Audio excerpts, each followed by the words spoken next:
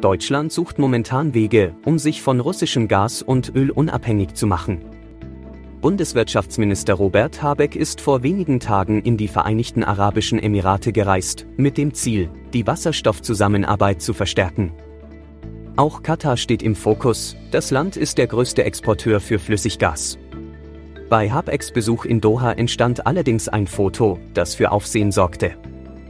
Darauf zu sehen ist der grünen Politiker, wie er sich tief vor Scheich Mohammed bin Hamad bin Qasim al-Abdullah al-Thani, Minister für Handel und Industrie in Katar, verbeugt. Nun wurde Habeck in der ZDF-Talkshow Markus Lanz darauf angesprochen. Es geht um diese Demutsgeste, die wir hier sehen, fasst Lanz das Foto zusammen. Ich glaube, das Foto fängt die Situation noch nicht mal richtig ein, rechtfertigt sich Habeck. Er habe den Kopf geneigt, aber es waren keine demütigen Gespräche, ganz im Gegenteil.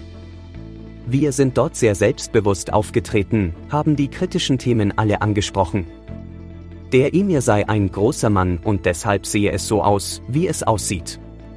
Es sei eine wohlüberlegte, gut vorbereitete Reise in ein schwieriges Land gewesen. Denn die Menschenrechtslage in Katar wird immer wieder kritisiert.